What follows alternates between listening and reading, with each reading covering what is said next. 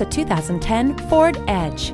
The acclaimed Ford Edge is loaded with standard features including air conditioning, all-season tires, one-touch power windows, power mirrors, four-wheel ABS, and tire pressure monitoring.